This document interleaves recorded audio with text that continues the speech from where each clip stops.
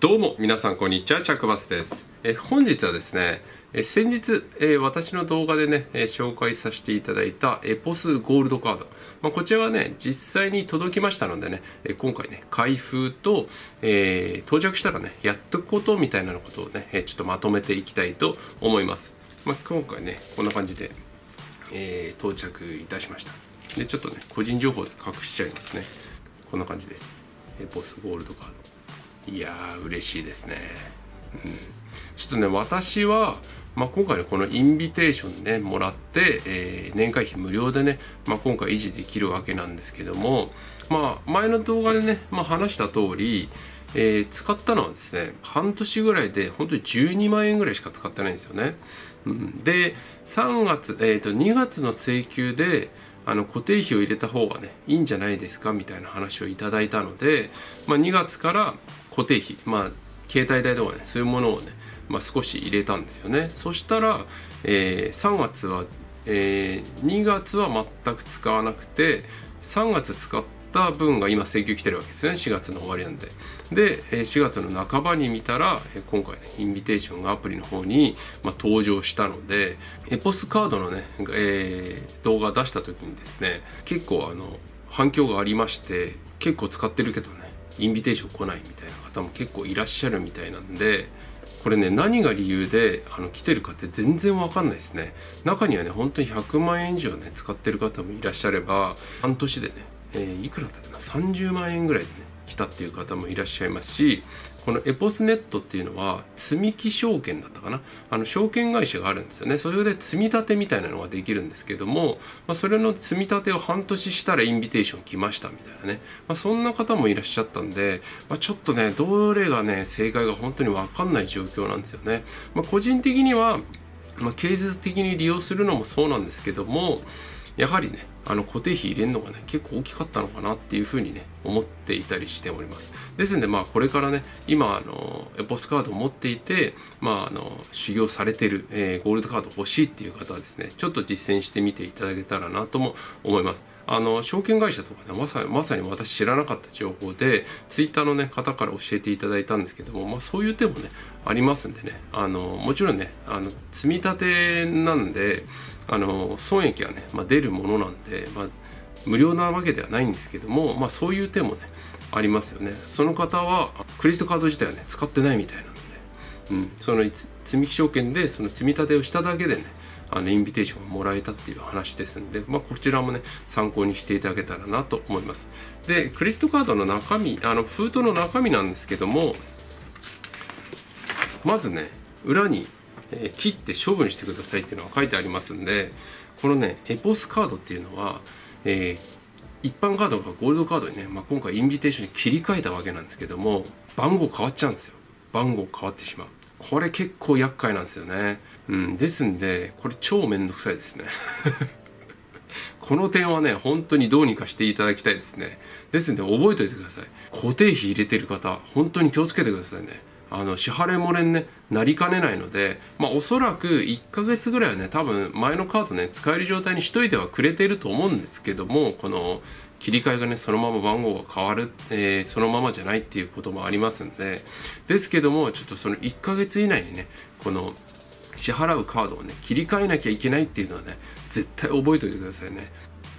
でこんな感じでねカード変更のお願いみたいなのがね入ってますね。うんすごいめんどくさいですね。一応ね書いてある感じだと変わった方って書いてあるんでもしかしたら変わらない方も中にはいらっしゃるのかもしれないですね。あとはあご利用がですねご利用街道こんな感じで来ます。であと、えー、エポスの規約がついてきますね。でこのエポスゴールドカードのね特典の中に、まあ、今回ねあの前の動画で話したね話っていうのがね結構書いてあるかなっていう感じですね。でこのエポスゴールドカードをねあの実際に受け取ったらですねあの確実にやっていただきたいっていうのがありましてまず先ほど言ったね、えー、番号が変わってしまいますんで確実にねあの日々の決済のしているものは番号切り替えね行っていただきたいなと思うんですけども、えー、それ以外にですねまず、えー、ゴールドカードでゴールドカードを保有するとファミリーゴールドカード紹介っていうねあの家族の方にあのゴールドカードをねえー、紹介することができるんですよね。このサービスすごいねいいサービスで私もね妻紹介して妻の申し込みもまだ審査来てないですけども終わったんですけどもファミリーエポスファミリーゴールド紹介っていうのは紹介された側か紹介された側の人あのこれね家族カードではないので審査あります。ですのでその点はねあの覚えておいてくださいね。審査あってもしかしたら審査落ちるかもしれませんのでね、まあ、それはあのどっちに転ぶかちょっと分かりませんので審査があるってことだけはね覚えておいてください。であの紹介方法なんですけどもこちらねえエポス .net、えー、エポスネットっていうね、インターネットのサイトがありますよね、エポスの。で、こちら、えー、ゴールドカードに切り替えてログインすると、えー、ポップが出て出まして新しいカードを受け取った方みたいな感じで、えー、バナーが出ます。でまだの方みたいな感じのバナーも出ますんでそちらね新しいのをね受け取った方はそちらとセキュリクレジットカードのセキュリティコードだったかな。そちらを入れると、えー、エポスドエポスネットのねあのトップ画面のカードもゴールドカードにね切り替わります。そうするとこのエポスファミリーゴールドっていうのがね出てきますんであもしねあのトップに出てこなかったら右上のねサイト内検索ってところでねあのやあの検索していけばねヒットしますんで、まあ、そちらから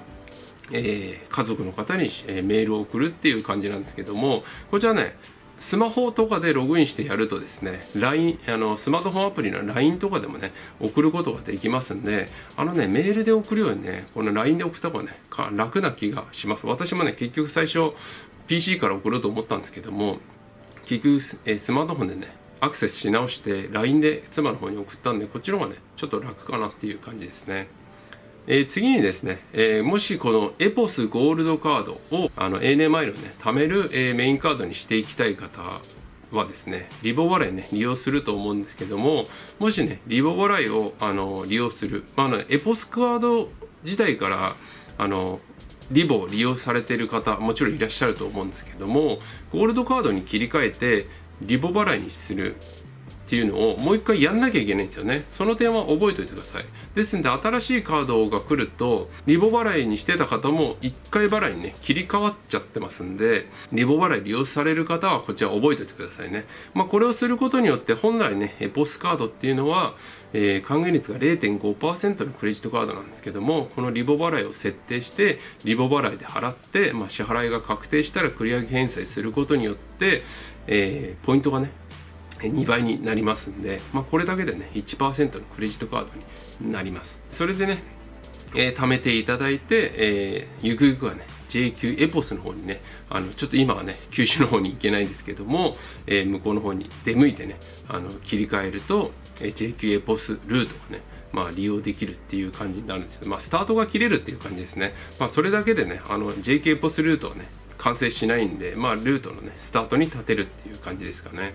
であのポイントなんですけども今現時点はエポスポイントが今溜まってるわけなんですけどもこちらね JK エポスに切り替えた場合ポイントそのまま移行できますんで今ポイント貯めててもそのままね JK エポスに切り替えた場合そのままできますんでその点はね安心していただけたらなと思います。え、次にね、え、選べるポイントアップショップ3つですね、え、こちらも、えゴールドカードに切り替えてあのエポスネットにねログインするとあのバナーが出てくると思うんですけどももし出てこなかったらですね、えログインしていただいて右上のね検索バーから、えこちらね選べるポイントアップショップみたいな感じで検索していただくと出てきます。ですので、えー、こちらね最大3つまでになりますんでこちらね確実に登録するようにしましょう。であの ANA マイルはね、えー、メインで貯めている方は、えー、できるだけ固定費の高いものをね、まあ、こちらに入れていただいて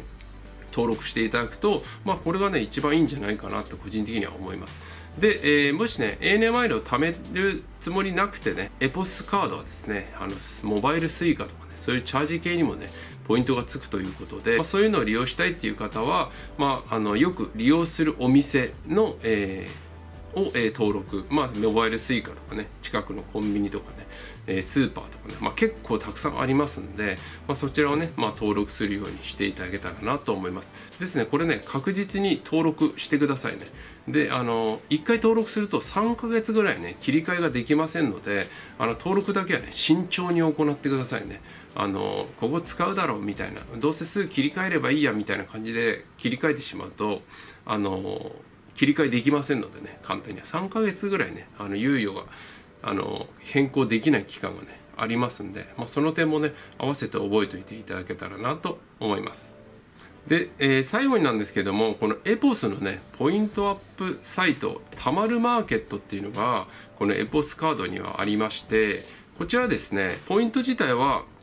2倍ということで200円につき1ポイントがまあ貯まる、えー、サイトなんですけどもこちらリボ払いを利用していると、えー、ポイントが2倍になりますよね。っていうことなんで、えー、200円につき2ポイントがね、まあ、貯まるようになるわけなんですよね。ですのでこちらのショップもし ANA マイルをねメインで貯めている方は、まあ、ポイントサイトでももちろんいいんですけどもあの普段の買い物楽天とかねえー、ヤフーショッピングとかアマゾンとか購入する時はあのポイントサイトでもいいんですけどもまずポイントサイトの場合はあのアマゾンってあんまりないですよね、うん、案件として。うん、ですんでこれねたまるマーケットのエポスはねこれアマゾンあるんですよね、うん、でヤフーマーケットあヤフーショッピングとか楽天市場とかもね、まあ、同じように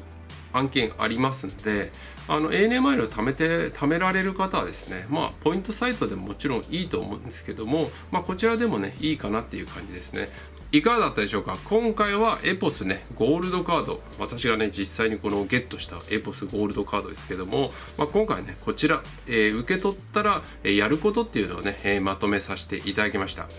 えー、この動画ね、え、役に立った方はいいね、チャンネル登録ぜひお願いいたします。私ブログ、ツイッターもやっておりますんで、フォローとチェックしていただければとても嬉しいです。えー、エポスカード自体はですね、えもしこのエポスカード修行ですね、これからやりたいっていう方は、今現時点でね、ポイントサイト、ポイントインカムで5500円分のね、ポイントで、えー、出ておりますので、もしね、あの、これから狙っていきたいっていう方はですね、このエポスカードでま5000円以上ねついてるって結構珍しいことですね。最近は結構長いんですけども、ま、個人的にはね基本的にエポスカードって3000円とか2000円とかそこら辺をうろうろしてる案件なんですけども今ね5500円で結構高いのでもしねあのやってみたいよっていう方はね結構今がチャンスかなと思いますんでそちらもね参考にしていただければなと思います、えー、それではまた次の動画でお会いいたしましょう。バイバイ。